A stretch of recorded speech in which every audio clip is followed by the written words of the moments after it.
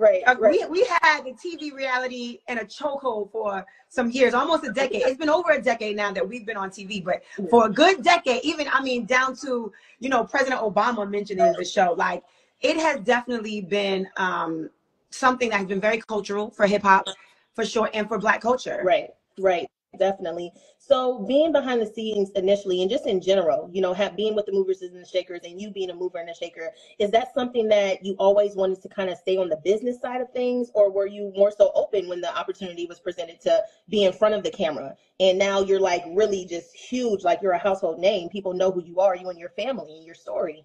I never ever wanted to be in front of the camera. I, I came from um, a management background. At the time, I was managing at Violator Management, Mhm. and um, I was working with Missy. I was working with Busta, Fifty, um, a bunch, and I loved being behind the scenes. Mhm. And then um, after the first season of Love and Hip Hop, we felt that there was there was something missing. There was there was a, a character that was missing that really came up through the rings of hip hop Right. but that worked, you know, that wasn't attached to a man in hip hop, that was still, you know, a hip hop baby or a hip hop pioneer, but not because of her. att- So, right, um, you know, we interviewed a bunch of people and we thought about it. Then one day Mona turns to me and says, Yandy, I think you'd be great for it. And I was like, Mona, I think you'd be great for it. Because I was like, no. I'm like, Mona, I don't do my hair. I don't wear makeup. I, I was like, I barely dress right. Absolutely not. And she's like, we can work on all that. You'll be fine.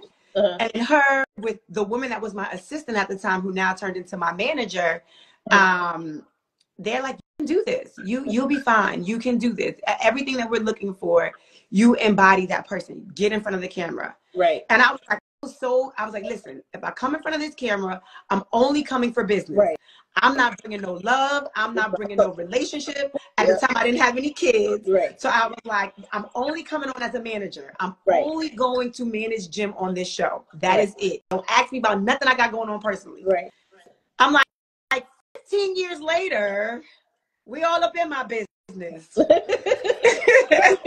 my story is so unique and i think i think i'm a product of a blended family and now i have a blended family and i think how seeing that story evolve over all these years now everybody is like from what we watch everybody you know everything is good everything is, is, like on a good level i think that gives encouragement to those like myself and many others of you know it's not going to always be easy Things Yeah. happen, but you know it's it's about the fight You Exactly.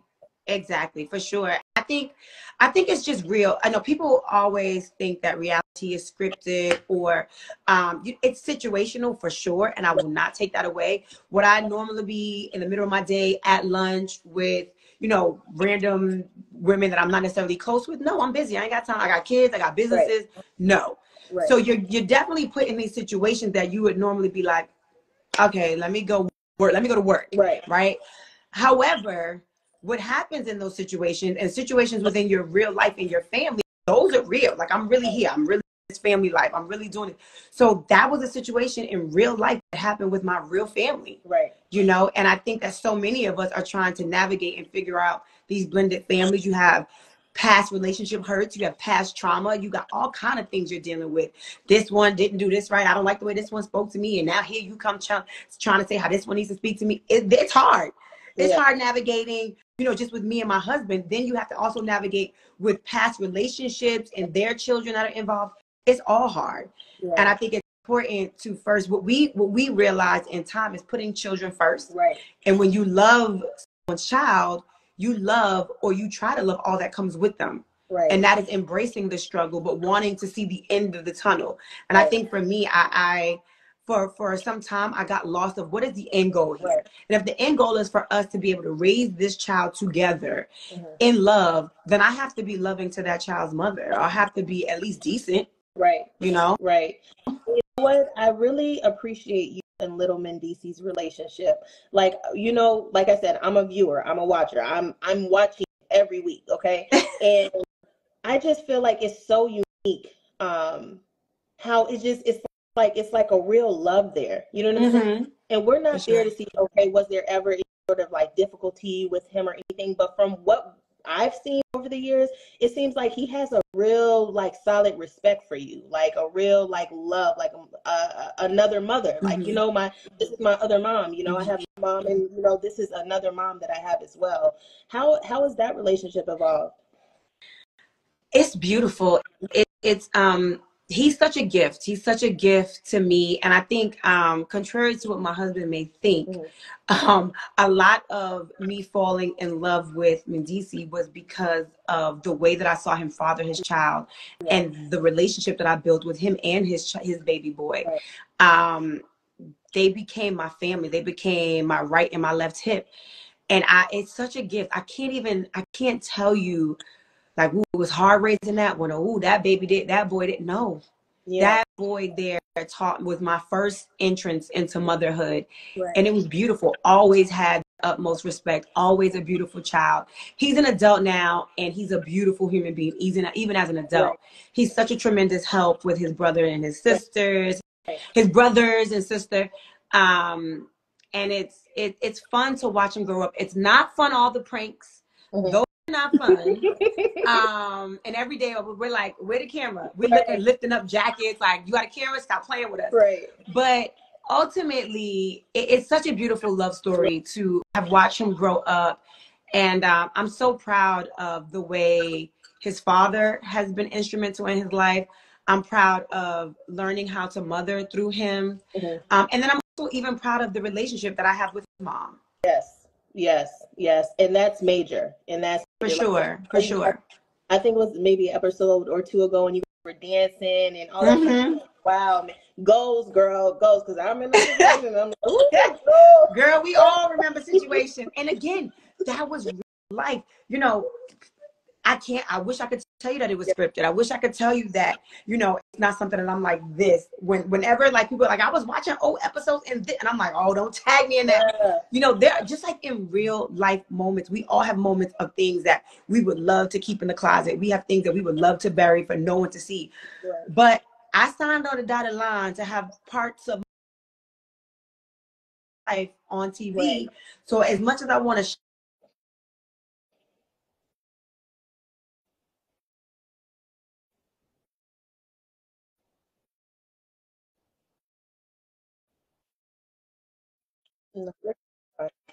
okay. So as much as I want to, I can't. Yeah, You know, I, I can't shy away from it. And I have to I have to definitely, definitely. That's what happens when y'all a boss, man. They they call in. They need her. They need her. Okay? right. And the crazy thing is this is my this is my banker. Hey, I'm sorry, I'm doing an interview. I'm gonna call you right back. Sure. Bye. Okay, bye. Yeah, yeah. He's like, I'm gonna call. If I don't get on one phone, I'm gonna call another phone, and they just would piggy. Like, I'm like, give me one second. Right, I understand that. So, um, shifting back into the music thing just briefly, um, what are your thoughts about like the major labels and like kind of like the cutting of the A and R's and like middlemen and things of that nature? Do you still feel like that is necessary because they're kind of transitioning to like AI type of things, or Yeah, you know, artist development is so important, and I think that right now, where they're want to spend money is is with what's selling, and a lot of the artists that are out right now have no artist development. Element, they don't have a lot of training when it comes to having longevity in this mm-hmm. business. They got a hot song, they got a hot gimmick, and we buy it right? and we buy it and then we buy it but how long are we creating you know are we creating chris browns? Are we creating whitney houston's? Are we creating busta rhymes? Are we creating missy elliott's? Mhm. are we really creating artists that have extensive training extensive artist repertoire and development where they know like you gotta make music that stands past the test of time. You gotta have a brand that if you decide I no longer want to do music. Can you get into the restaurant business? Can you get into producing? Can you get into songwriting? Will people respect your artistry? Right. Or are you just who you are right now because you got some hot records and then that's it. We're done with you. Because you don't you don't have any longevity. You haven't really been properly taught or developed in this business. Mhm. Like I remember when I was in the music business, even when I was an intern, I remember there was a particular artist that I was working with. Everything down to her hairstyle Mhm. Was premeditated. Right. We want your hair more like this. Mhm. We want you. We, this is this is the, the the brand guide. This is how we want you to dress. Right. This is how we want your hair to be.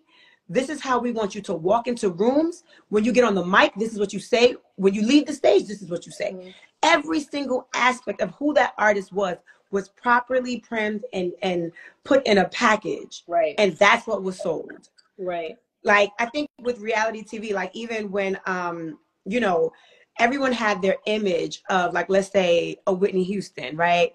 When we saw this beautiful package and, and such a beautiful human being and artist, right? And then when we saw the reality show and it was a real person like that that went through the things we went through, that had the same kind of, you know, raising her kids like we raise our kids, Right. um, going through relationship stuff on TV, everyone was like, oh my gosh, she's a real person. Yes, yeah. we are real people. But what happened before reality TV, you bought into this package. Right. You bought into who these people were on the stage, you know, this this epitome of perfection, this Exactly. epitome of grace, this epitome of all things pulled together. And in real life, nobody is like that Right. at all. So then you're you're in shock when you see this this this real person come. And I think that with with no longer having like artist development, you just get that real person from the flow. Right. And it's like, you know, you either buy into that or you don't. Right. Right. Right. And that's it. And you know what's crazy? Like, like I like I said, I love the culture. Me and my boyfriend, we we sit and we watch all the like the Jim Jones interviews and the N.O.R.E. interviews and just all just the knowledge that they had back in the game about when they first came out. And it is crazy how you would hear them saying like, you know, there was like a strip of record labels and they would go to Rockefeller and go to this one and go to that one and, and, and we're passing out mixtapes and we're doing this Yes. and we're doing that. And now it's almost like just a click of a button. You upload a song and oh hey, you might make it. Yeah. You might blow up.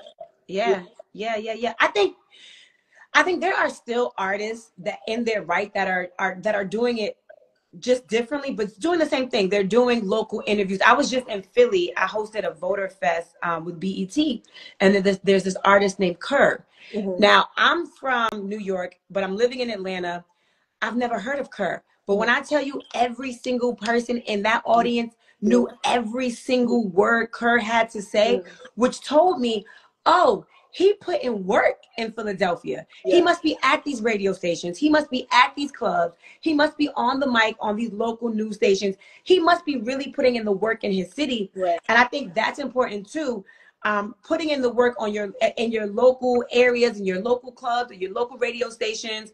Um, when you're an artist, that works too. So it's not necessarily just the click of a button because I think some of these artists are really putting in work. Think about Pop Smoke. Pop Smoke was huge in New York Yes. you co- come down to some of the like when I got to Atlanta, no one was really playing Pop Smoke. Yeah. But where I was at, he was on the radio all up and down. Everywhere he was, he was a legend. He go walk into the club, it was legendary when he walked into the club. Everybody was going crazy. Right. Um, so I think some people put in work for sure where they're from, and I think that's a key to make sure where you're from, they know you're you're a household name, Right. and then from there, you know, you want to branch out to some of these other major markets, and then hopefully the little smaller markets will grab onto your music as well. Definitely, definitely. So um, I want to go into some voter registration because I really love how active you are everywhere, like everywhere, right? And I want to know um, when your husband was, um, you know, he he went away and he, you know, did his time or whatever. Was that what like struck your interest into like the judicial system and like, okay, something has to change. Like, what's going on? This is not right. It's inhumane. Because I remember you saying one live or something. It was like super cold in New York. Yes. Outside. Let me tell you, I'm gonna answer your question for sure. But I was just talking to a friend of mine earlier today. So MDC, Yeah. that's the prison that we were standing in front of, and we for three days they had no, they had for the for, for I don't know if it was for a few weeks, they had no hot water, they had no hot food. Yeah, it was MDC. Oh, That is the same prison, I believe, where they're holding um, Diddy as well. But I remember standing in front of that prison. We said we will not go home until they put heat and hot water and hot food and blankets in this prison. It was below freezing. We were sleeping in our cars. Myself, Until Freedom, Tamika Mallory, my son Angelo, Jamila T. Davis, um, Linda Sarsour. We were out there and we were begging for representatives to come. Um, I remember Jumaane um, was one of the representatives that. Can you get me a charger, baby, so this phone doesn't die? um, for this one. Ask Amir for it. Um, I remember us standing there asking for artists, asking for influencers, people with voices to help us, to help these inmates. And yes, a lot of that, that wasn't the prison that my husband was in, but Right. that was, I just felt like it could have been. Right. Right. It could have been. And I can, I can reach this one. I can get here. This is in my backyard. Right. Um, and that, that is, we were like, we got it in literally three days. It took us three days for them to get lights on, for them to get heat, and for them to get blankets and hot water. Three How is that days in below freezing weather. Yeah. How is that even legal though? Like how like how is I know Exactly. people have to go away and do their time. Okay, I get that. Respect that, right? But like these It's are not still legal. Like, it's not legal, but the problem is so many of us, it doesn't affect us, so we don't care. Right. And and I have I have I cannot say that I was not that person. right. Things that had of no concern to me, I did not go hard for because it didn't affect me. When that joint came knocking on my back door, Mhm. I was like, oh hmm no, I'm, I'm not, I can't, I can't Right, do it. right. Somebody's brother's there, somebody's father's there. Some, and then that for, for a lot of people was a holding cell. There were people in there that were in there for unpaid child support. Like you're gonna you're gonna die from being frozen because you you you know, and they don't even know the verdict is still out if you didn't pay child support, right? It was there were so many people in there that were that's fine, baby. Give me the charger. Thank you, honey. Um, it, it was just it was crazy. Right. I gotta shift because I don't want this phone to die. No, you're fine. That is crazy, but I just love how vocal you were. That I think that Yeah, was my was first insane. time seeing you like like active like that. Like, it, what what really prompted you to really get involved in these sort of causes? Um, I think again, like you said, when it came knocking on my back door, it was like, how can I not? This Right. is someone that I love. This is someone that I have children with. Right. Um, how can I not get involved? You know what I'm saying?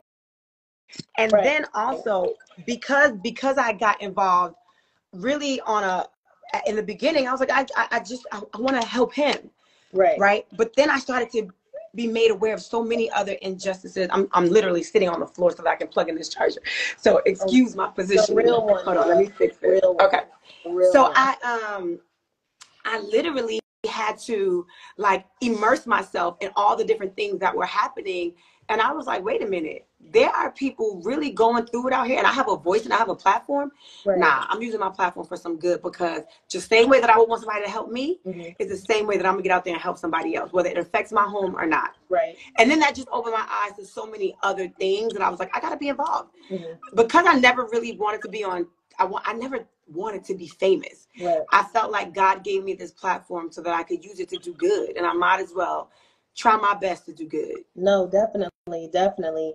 And it, it, it also just seems like, you know, with all the causes that I've just seen you be a part of, you're so passionate about it. You know what I'm saying? It's not someone who's just going out there to on a whim, like, oh, you know, I'm gonna do this because I think this is the right thing. No, I feel like you really believe like this is what I believe. Like y'all are tripping. Yeah. Like this this is Yeah. crazy. Like I Yeah. truly in my soul feel like this is like completely terrible. Like I, I remember on a season you guys, I believe you went down, um, I forgot what state it was, and you guys were arrested and just a whole Mhm. bunch of stuff, or maybe not even arrested, held or something like Yeah. that. Like Yeah. oh, I've been arrested a couple times now, um, so I'm not sure which which thing that was, but I was arrested in Kentucky, yeah, um, fighting for Breonna Yeah. Taylor.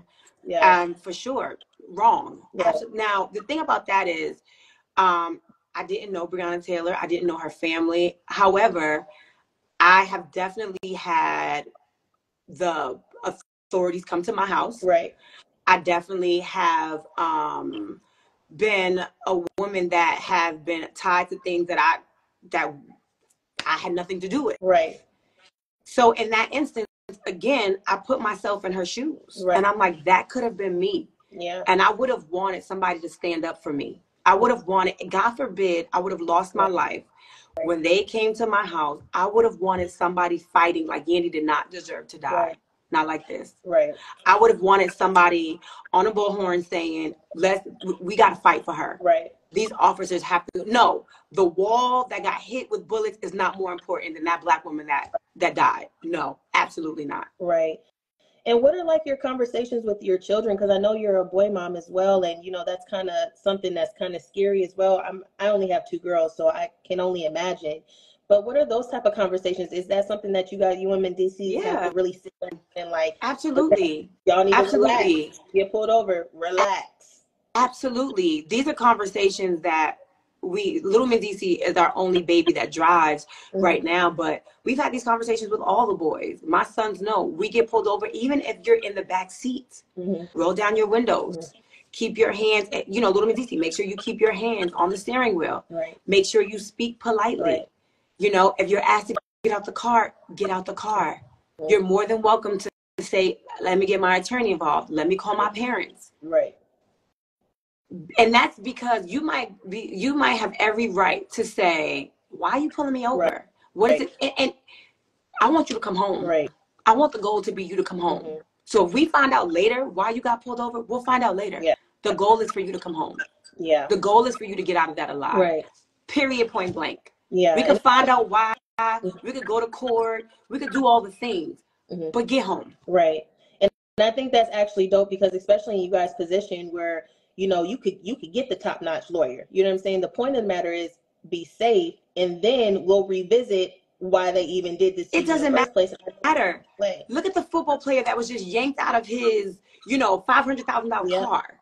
Right? Yeah. It doesn't matter. Mhm. These over aggressive, super power warranted officers, they don't care. Yeah. They want to make their point.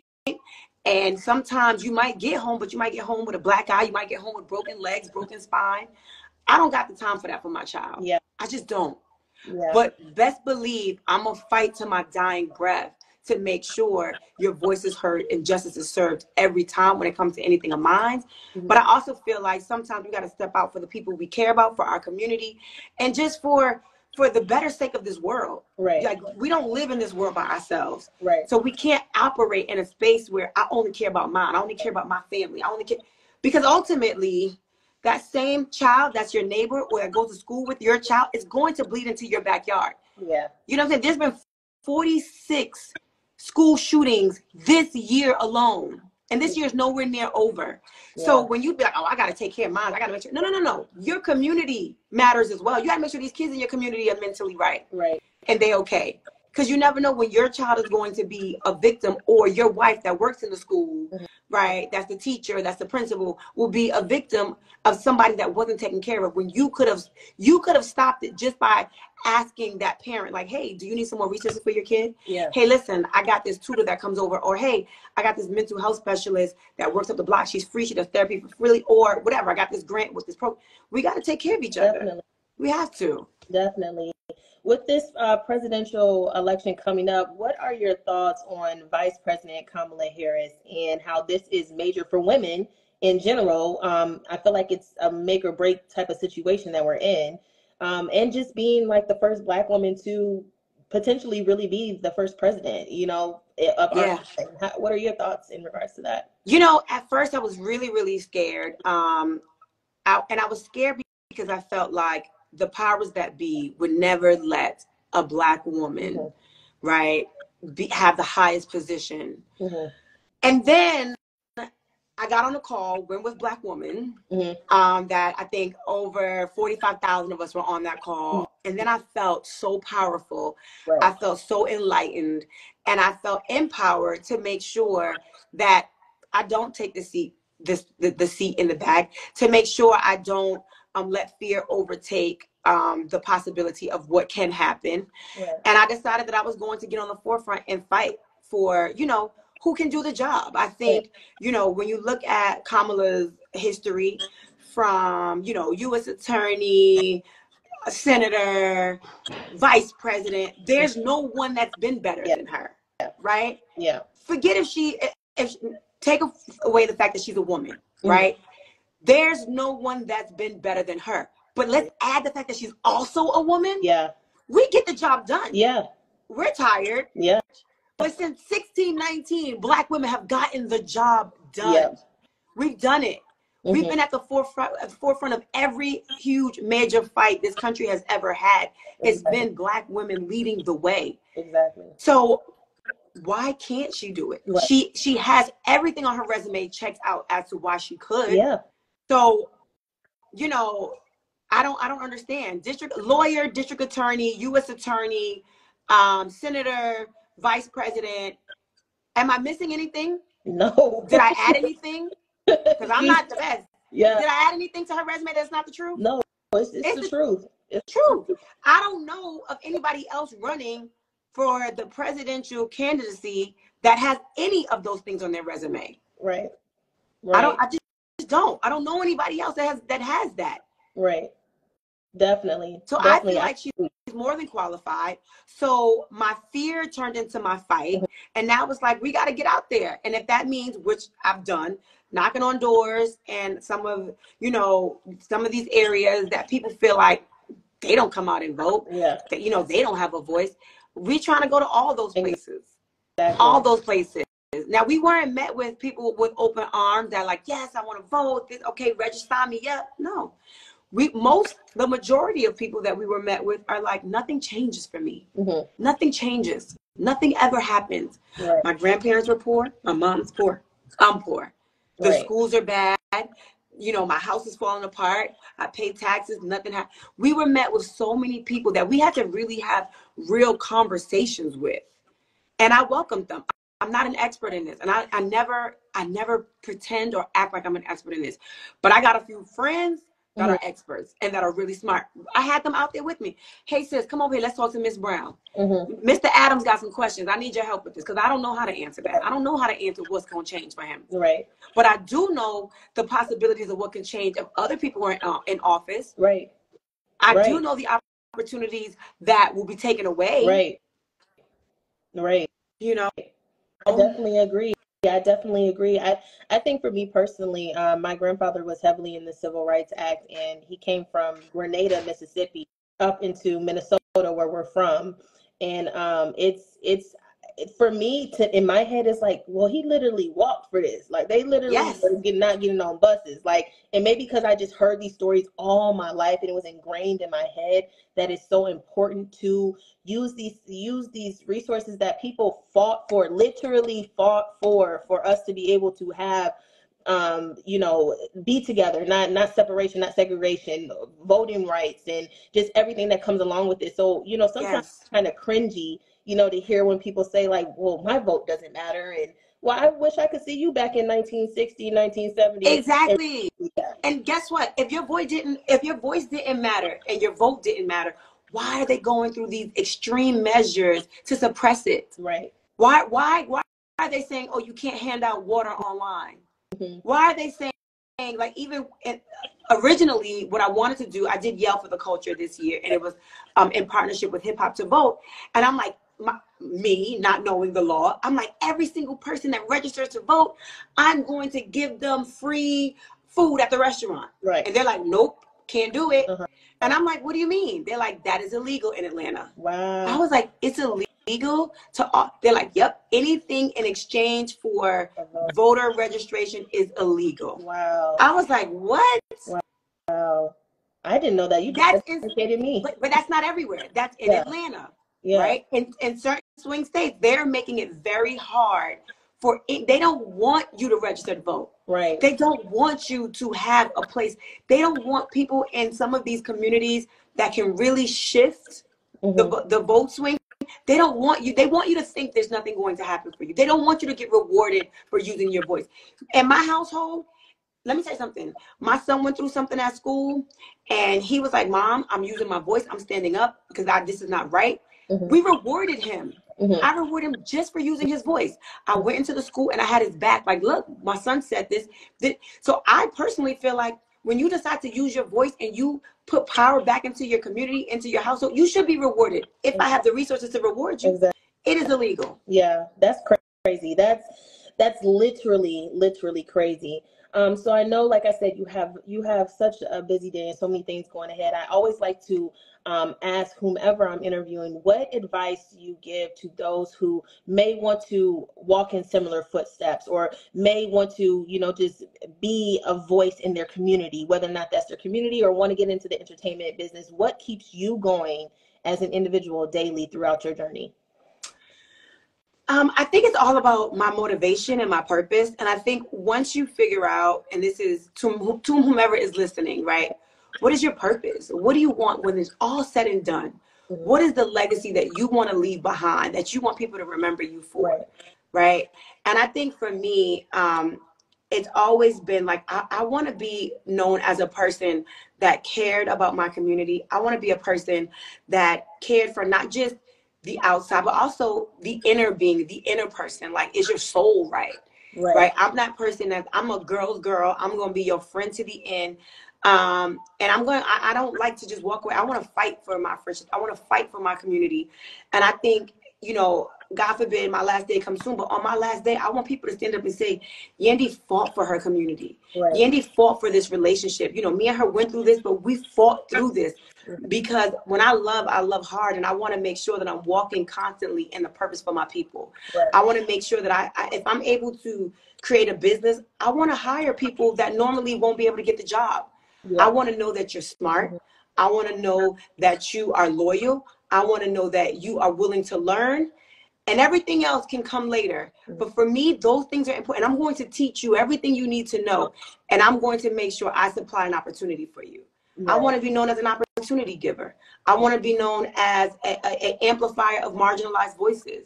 Right. And I think that when you know that that is your purpose, everything you start to do will align with that. Right right? So when I create a business, I want to hire certain people. I want to make sure that I'm providing opportunities for these types of people that might not or, or always get the opportunity. Yes. When I am on a, even on, on my show, right? Some people are like, oh, that is the demise of the black man. That is mm-hmm. the demise of it may very well be to you. Mm-hmm. But when Yandy steps on the scene, Yandy is making sure that 70% of what she's a part of and what she's doing is pushing the culture and pushing the community forward. Mm-hmm. Now, I might get caught up, and this is in my real life, I might get caught up in some nonsense here and there, but that's with or without a camera. Mm-hmm. But 70% of what I'm trying to do in my real life and in my TV life is push the culture forward. Right. I'm trying to build a legacy. I'm trying to make my children proud. I'm trying to make my mother and my father proud. Right. And um, that's what I do on and off camera. Yeah. Well, y'all, y'all got some free game. I hope I hope everybody retain this because I'm over here like Yandy, I could go for another two, three hours, girl. I am like, are we done? I want to pick your brain. I wanted to pick your brain. But like I said, we here at Lit Live, I appreciate you. We love you. We appreciate everything that you bring to the community. I love you and I love this interview. When we when we done, make sure your people get my number so you can call me anytime and we can talk further. I'm sure there's a world where we can do some stuff together. Yeah, oh yes definitely i would i would love to i was so disappointed i couldn't come to your event this past weekend we were we were booked over at revolt world but i okay yeah when i was speaking to everyone i'm like i know they're they are doing some powerful things over there some powerful things over there it was great it was so good but we'll do we'll do it again i'm trying to do another yell for the culture at the end of october yeah um because now that you know we've gotten a lot of people registered to vote it's also about making sure they show up to the polls period um so I'm trying to do some activations all around different cities to make sure people understand why their vote is important. Definitely. You know? Definitely. Definitely. We'll, so we'll see. We'll connect for sure no, because I definitely know that we can share each other's platforms to amplify definitely. some of the same sentiments. Definitely, definitely. Well, we appreciate you and I hope you have a blessed rest of your day. Thank you so much. My daughter is begging to say bye to you. Go ahead. You can say bye. Bye. Oh my goodness. I just love you. You are so beautiful. You are so Did you beautiful, Queen. Makeup for this?